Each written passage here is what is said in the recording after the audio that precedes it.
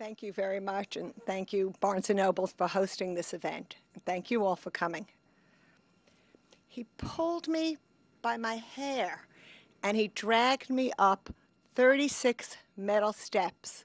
Each one I could feel as my cheek went against them, making a mark in my face. I had to spend weeks in the hospital, and I will never look the same again.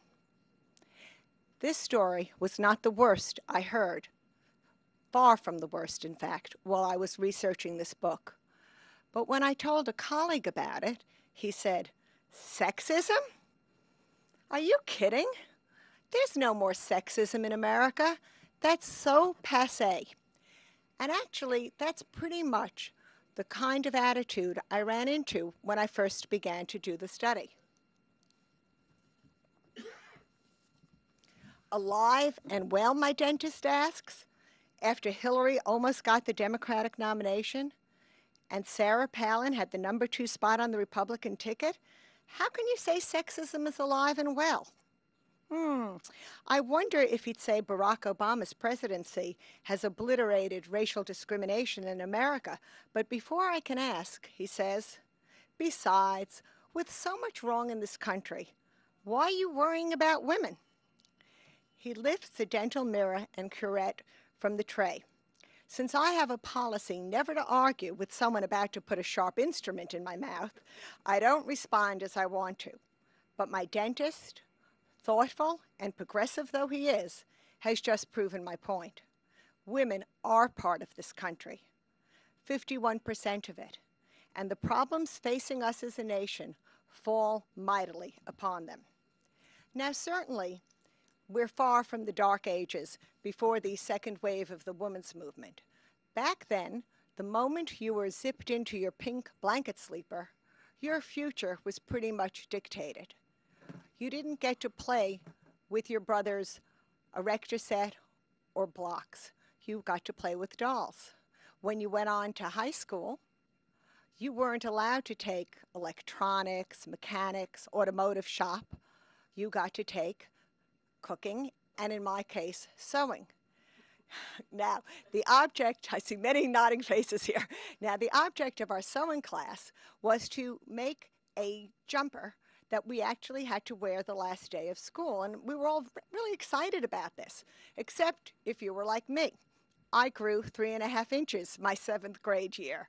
Therefore, by the time June rolled around, my jumper was so short on me, I was not allowed to wear it into the classroom.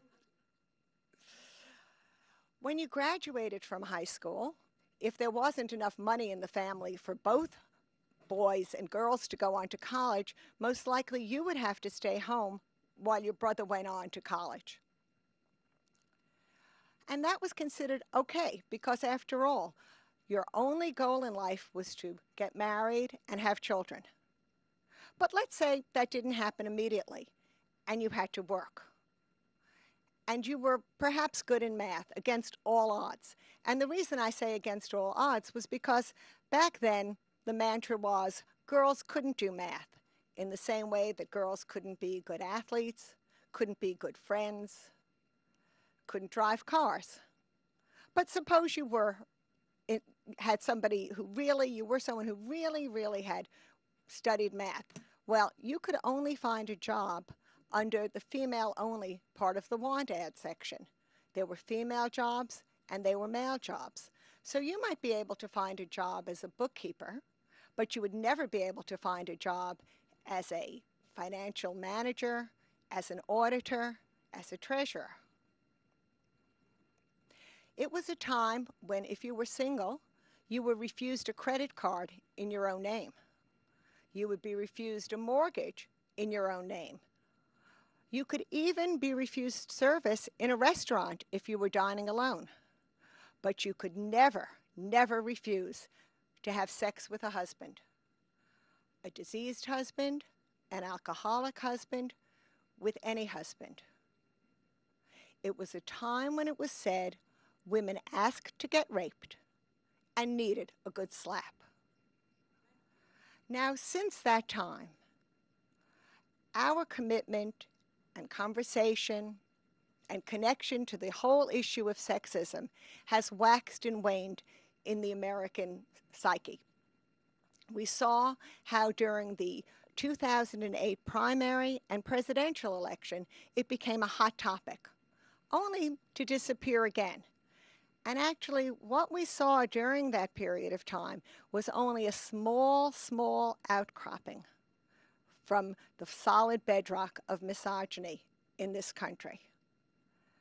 Now, I think it's fair to say that for the past 30 years, we have been considered to be a post feminist society.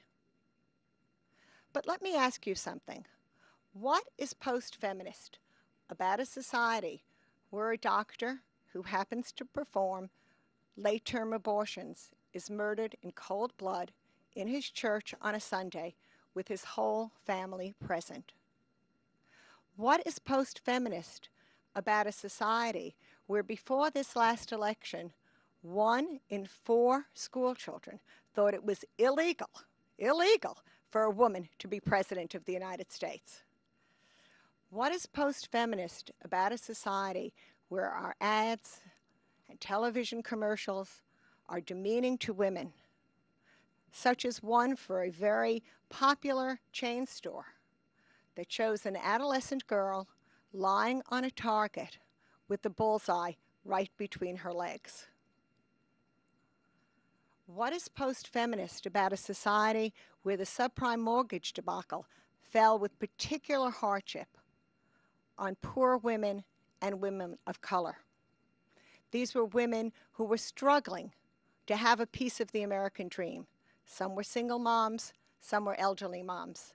And when they started out, their mortgage rates were rates that they could afford, only to see them adjusted and adjusted and adjusted upward till they had to forfeit their homes. Anita Hill, who's a law professor at Brandeis University, has just completed a study in which she found that all women, no matter what their background, were charged more than men, even men in the same differently comparable, I should say, financial situations.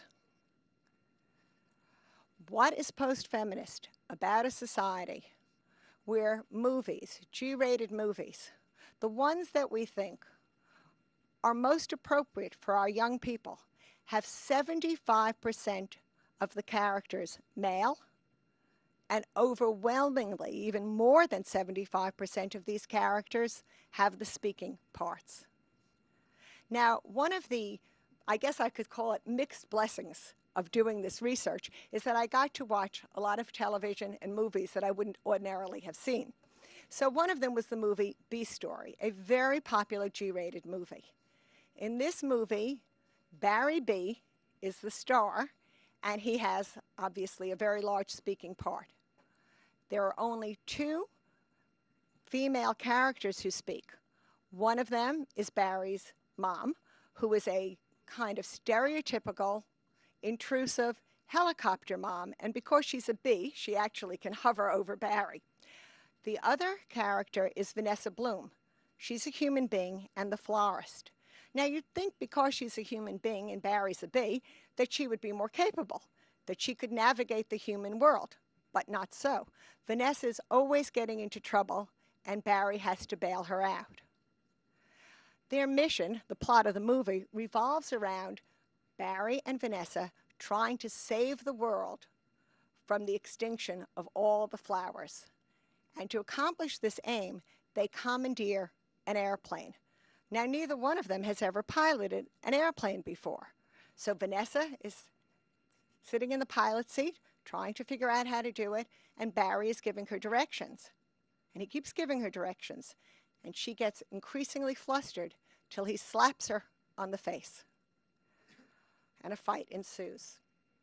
What are our children learning from this, I'm sure, very, very unintended message that women are ornamental, annoying, irritating, and then when they get out of line, they need a good slap. So, post feminist? No, not really. And maybe it's not then such a surprise that in the global gender index, the United States ranks 27th in the world, behind Cuba and Lithuania. Now, let me just tell you a moment what this index is. It's a study of 160 countries that hold 90% of the world's population. And they compare countries on the basis of education, employment, how much representation we have in government, and health and survival. So let's just start with education. In education, Title IX has been chipped away and chipped away and chipped away, depleted of its funding, even though, even though every study has shown that when young women engage in sports, they're not likely to drink, to do drugs, to become teenage mothers, or develop eating disorders. Either way, either obesity or become too thin, and they do better in school.